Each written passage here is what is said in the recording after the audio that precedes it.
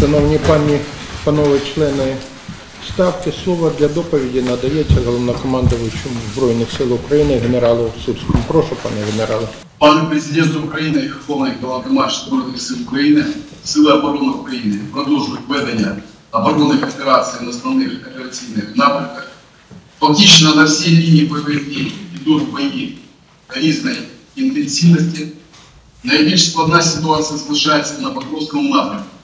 Противник намагається прорвати оборону наших військ, але станом на ранок всі атаки відбиті, успіху противник немало.